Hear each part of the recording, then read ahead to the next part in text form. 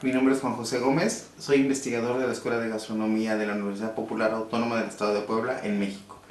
El día de hoy vamos a continuar abordando el tema del consumo.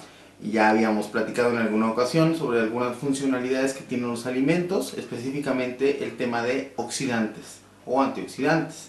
Ahora vamos al, al tema de eh, probióticos y prebióticos. Los probióticos son aquellos alimentos que se consumen para beneficiar todo lo que es la flora intestinal. Estamos hablando específicamente de microorganismos que cumplen ciertas funciones en el cuerpo, como son, por ejemplo, la Saccharomyces cerevisiae, que es la levadura que está presente en el vino y en la cerveza. Todo el mundo dirá, bueno, entonces es bueno consumir vino, es bueno consumir cerveza, pues vamos a abusar del mismo. Ese es el punto que el consumo diario debe ser limitado de una a dos copas de vino y de un tarro pequeño aproximadamente de 150 mililitros de cerveza.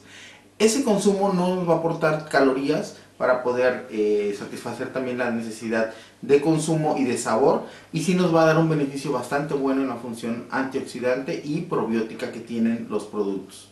Por otro lado tenemos las mismas pastillas de lactobacilos, evitando con esto el consumo de ciertos yogures que están excesivamente adicionados con azúcar.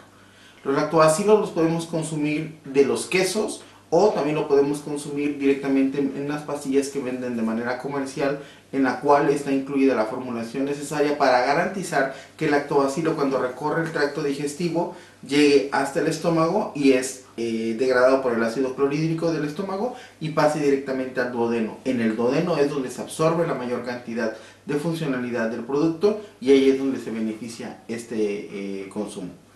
Por otro lado tenemos los alimentos prebióticos que son aquellos que nos benefician en cuanto a los eh, movimientos peristálticos, que son los movimientos del intestino.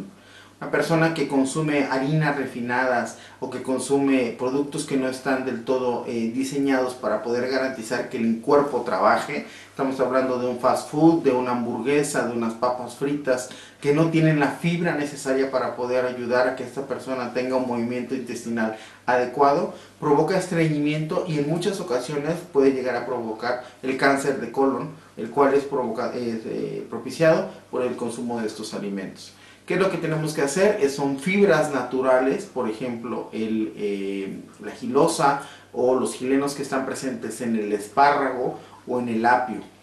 Son fibras solubles que al momento del consumo la persona tiene ese beneficio de poder garantizar que su intestino se va a movilizar.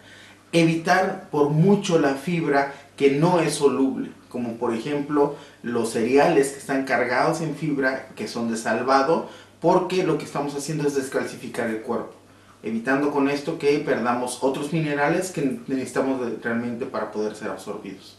Busquemos siempre frutas que tengan fibra, por ejemplo la piña, la alcachofa en el caso de las verduras, la, eh, como bien se mencionó el apio y el espárrago, eh, la cebolla misma que contiene una buena cantidad de fibra y otros productos que tengan cáscara y que se puedan consumir como lo mismo. En el caso del durazno o el chabacán o el melocotón que se pueden consumir, es necesario no pelarlos, sino consumirlos completamente con la cáscara. Estas dos funcionalidades, tanto los alimentos prebióticos como los alimentos probióticos, aunados a los antioxidantes, en conjunto es lo que ahora actualmente se llama alimentos funcionales. Para que cuando estemos buscando una alternativa para garantizar un consumo responsable y apto, busquemos este equilibrio entre los tres grupos. Muchas gracias.